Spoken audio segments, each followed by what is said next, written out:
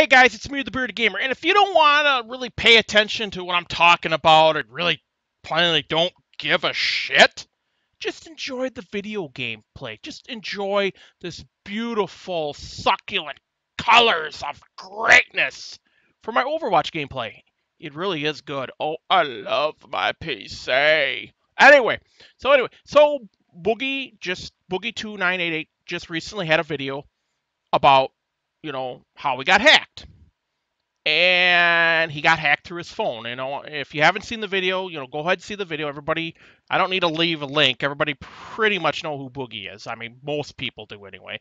If you don't, okay, maybe I will leave a link there. But anyway, he got hacked through his phone. So it wasn't, you know, any anything security that he did. It wasn't that went through there. It, it's it's a hacker that literally called his phone, you know, his uh, phone service, which was Verizon, called up and said, I'm Steven William, aka Boogie2988, and stated, I forgot my password. And they they let the hacker through so he can get all this information, his banking information, every information, so much information we carry on those little goddamn things, pretty much at the at his fingertips, at the hacker's fingertips. Now, I was watching this video, and immediately that just struck a nerve to me because me and Pickles, about three years ago, we were at a training center, and I'm not going to say where the training center was or anything like that, but they were hired by Verizon to do call centers to to when people call in about their phones, mainly the new iPhone or whatever came out, you know, how to, you know, if I'm traveling somewhere, how do I set it off, you know, set it off off mode or I, I don't get the, you know, charge these ridiculous rates and stuff like that or or just general questions about their phone.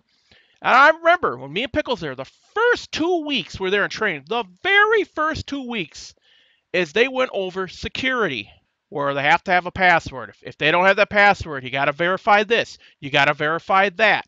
You got and then all, not only top of that, you got to verify that because to be honest, you don't know who who the hell's calling you. You have no idea. The point is, is Verizon failed Boogie.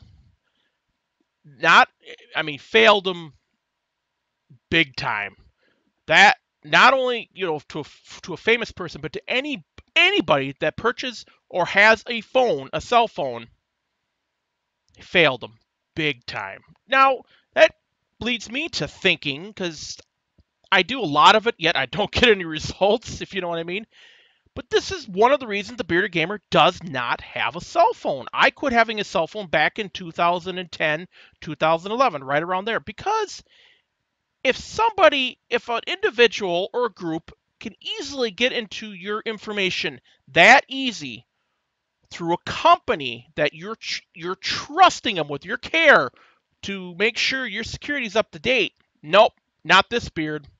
I, I, that's just one of the reasons I don't have it. Too much, so much information. I mean, there's more information on a cell phone than there was more computing power to get to the moon. For crying out loud, everything, our whole life, our whole, you know, our banking, our email, our Facebook, our Twitter, our our Twitch accounts, ev- everything. And I'm just these are just small things, except for the bank account, but all that information is on the size of your hand, if not smaller.